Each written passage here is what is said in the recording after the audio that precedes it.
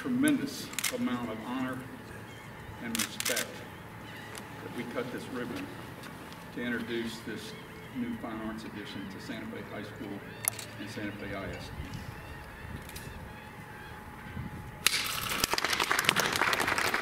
We started this process after a horrible tragedy that gave us the um, initiative to create a new facility for our students, a fine arts facility.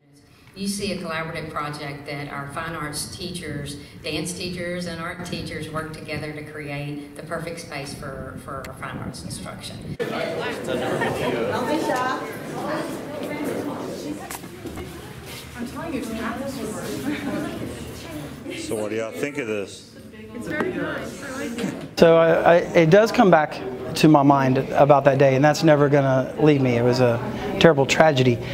The this whole facility is uh, brings joy to my heart because it's it's um, the arts live on. The arts is a, is a tribute to the things that we've lost. I got super jealous. Just got jealous because I'm not going to be able to be here next year. So I just I wish I could do it or dance in here, but.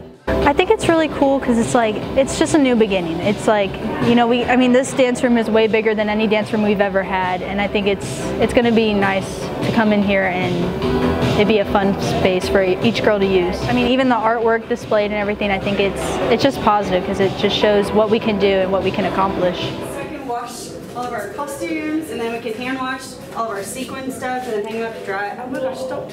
You, you didn't have this before. no.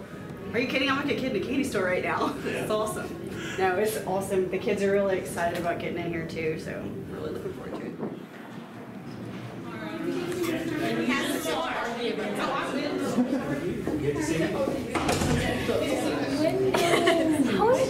I don't drink that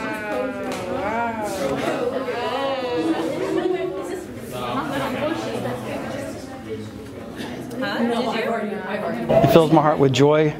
Um, the arts is a place for uh, emotion and expression, and this is going to be a, a lovely uh, place to continue that.